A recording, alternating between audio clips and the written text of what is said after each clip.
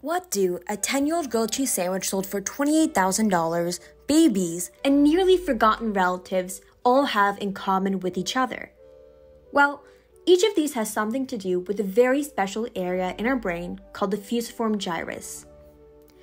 The fusiform gyrus is located in your temporal and occipital lobes, specifically spanning the basal surface of your temporal and occipital cortex. So, if we looked at the bottom surface of your brain, we'd find the fusiform gyrus right here. The location of the fusiform gyrus is pretty important when we think about its primary function of facial recognition. The temporal lobe deals with memory acquisition and comprehension in general, while the occipital lobe primarily allows us to see.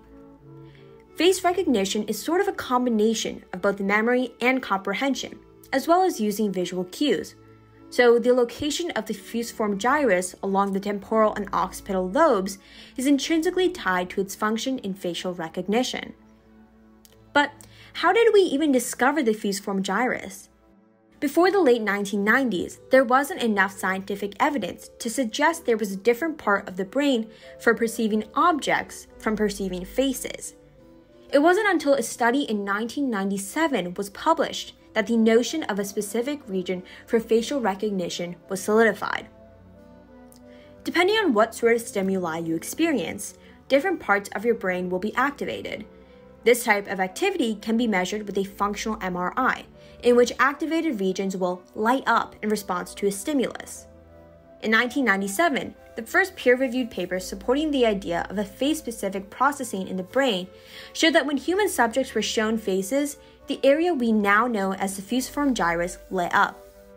More specifically, a tiny area the size of a blueberry within the fusiform gyrus displayed a disproportionate amount of activity, with about 97% of the area lighting up when participants viewed faces, but not when they viewed other things like houses, hands, or cars. And even more interesting, in most patients, this activity was concentrated on the right side of the brain. This blueberry sized region is aptly named the fusiform face area. In a way, humans were made to see faces, not just in people, but even in random stimuli. Have you ever seen a face in a cup of coffee, or a stain, or a car? Then you've experienced the phenomenon called pareidolia, which is directly connected to the fusiform gyrus's function. And it makes sense from an evolutionary standpoint that recognizing faces comes so naturally to humans. Carl Sagan, the notable astronomer, once theorized those infants who a million years ago were unable to recognize a face smiled back less, were less likely to win the hearts of their parents, and less likely to prosper.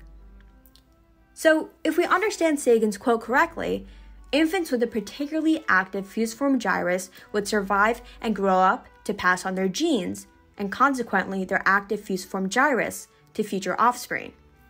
And in the adult stage, the fusiform gyrus and pareidolia continued to be useful. If our ancient predecessors assumed they saw a face even when there wasn't one, it could protect them from potential danger in the form of, say, predators. But in today's day and age, we're not really using our fusiform gyrus to defend ourselves from predators. Remember that grilled cheese sandwich and how I said it was also related to the fusiform gyrus? Well, the reason it was sold for so much money was because people saw an image of the Virgin Mary in the brown spots of the sandwich. It just goes to show that humans can find faces in pretty much anything because of our fusiform gyrus. However, there's still so much to learn about the fusiform face area. More studies are being done, for instance, some showing how even blind individuals utilize their fusiform gyrus, thus challenging the idea that visual perception is needed for facial recognition. With the purpose so integral to humans' evolutionary journey and how we function with other people, it's hard to imagine what we do without our fusiform gyrus. And if you ever manage to sell a sandwich with a face in it for an insane amount of money, you know what part of your brain to thank.